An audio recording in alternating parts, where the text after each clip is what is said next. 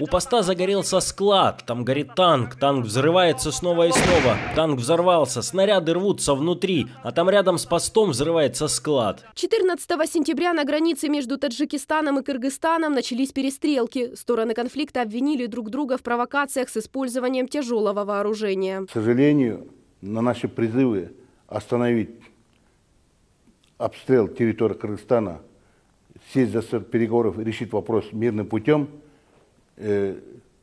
руководство Таджикистана, государственные органы и э, руководители государственных органов никак не могли воздействовать на свои вооруженные силы.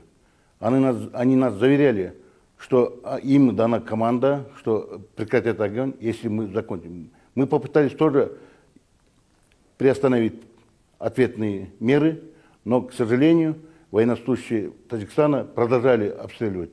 Под давлением международного сообщества стороны конфликта все же договорились о прекращении огня 16 сентября. За время конфликта в Кыргызстане погибли 59 человек.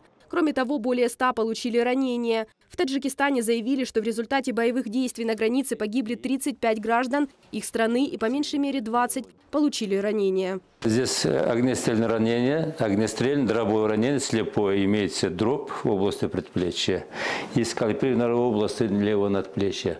Рана, рваная рана. Сделали, ночью сделали операцию, первичная хирургическая обработка.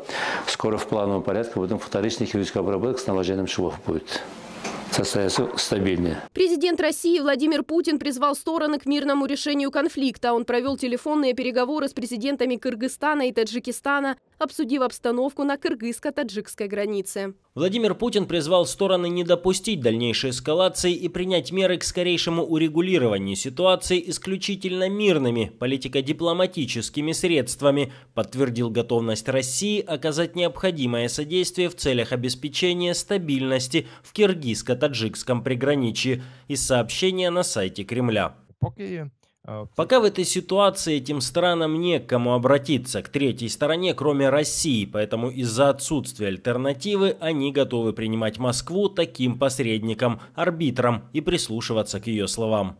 Причина конфликта между странами – спорные территории Баткенского района и водные ресурсы. Значительная часть границы между Таджикистаном и Кыргызстаном до сих пор не демаркирована. Граница между двумя странами составляет 970 километров, и из них 519 маркированы. Соответственно, там нет никаких вопросов, а вот как раз остальная граница, там есть противоречия. Поскольку население проживает там смешано, существуют таджикские анклавы на территории Кыргызстана, Казахстана есть то, что называется этническая конкуренция. Конкуренция за воду, за территорию, поскольку ключевые водные ресурсы находятся как раз на границе, и стороны спорят, как должны получать воду. 19 сентября в Кыргызстане был объявлен национальный траур по погибшим в результате конфликта. За последние 20 лет на кыргызско-таджикской границе произошло почти 100 столкновений. Юлия Биль для телеканала «Фридом».